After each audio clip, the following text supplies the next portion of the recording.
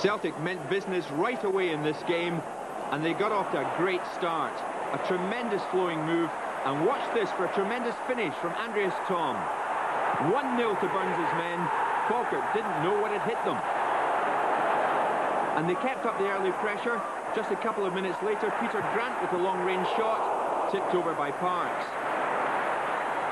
Van Hooijdonk had a chance to make it two midway through the first half. A bad first touch and a bad finish.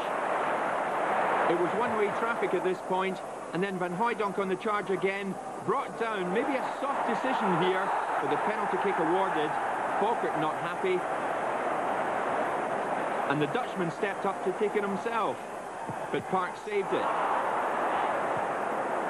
Celtic's second goal came just before half-time. The through ball from Tosh McKinlay, Andreas Thom with the downward header, and they're in the driving seat now. And there was no let-up for Tony Parks after the break.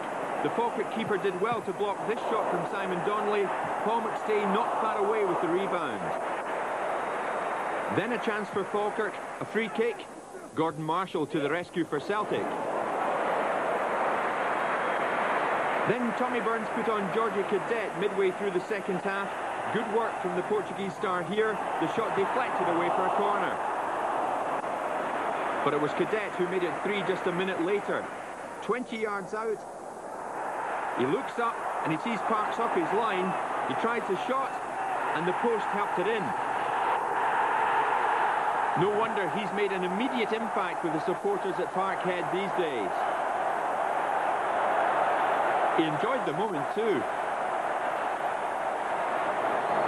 And then Celtic made it four just a minute from time. Donnelly picked the ball up on the edge of his own box. He ran almost the length of the pitch with it. A 1-2 with Cadete, and the finish as cool as you like. Celtic going from strength to strength. You can't say that about Falkirk.